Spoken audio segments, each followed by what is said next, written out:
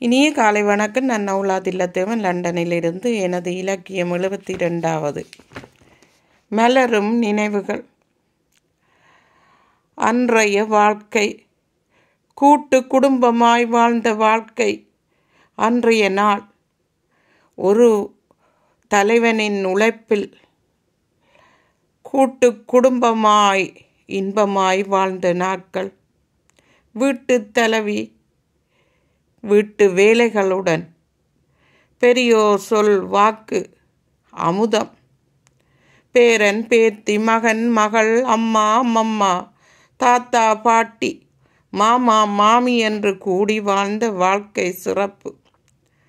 மாட்டு கொட்டிலில் மாடுகள் மாடுங் கன்றும் கத்த ஆ- ஆடுங்கத்த கோழியுடன் குழந்தைகள் விளையாட நாய்க்குட்டியுடன் தாத்தா கதை கேட்ட காலம் அது. ஒருவருக்கு காய்ச்சல் என்று விட்டால் அம்மா குடிநீர் வைக்க அம்மம்மா சாப்பாடு ஊட்ட அமக்களப்படுத்தி விடுவார்கள் வீட்டில் பெரியோர்கள். காய்ச்சல் காய்ச்சல் என்று வீட்டையே அமக்களப்படுத்தி விடுவார்கள்.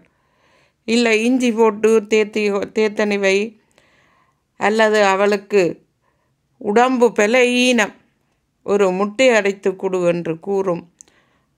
தாத்தா இப்படி பலரின் அறிவுரை. அப்பா அறிவுரை கூறுவார். மழையில் நனைந்ததால் இது வந்தது என்று. இங்கே காய்ச்சல் தலையிடி இயலாது என்று. தானே எழும்பிச் சென்று மருந்து போடவும்.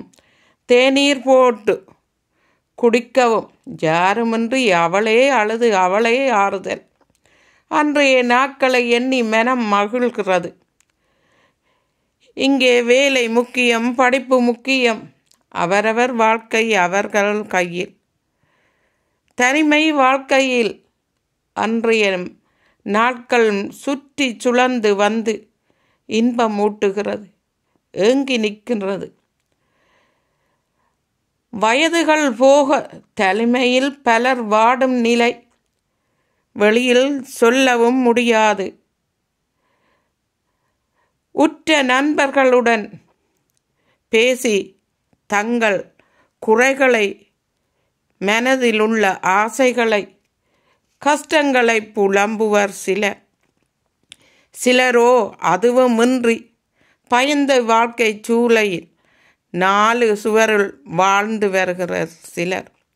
அழுகைதான் மிச்சம். வெந்து வடிப்பதுதான் மிச்சம்.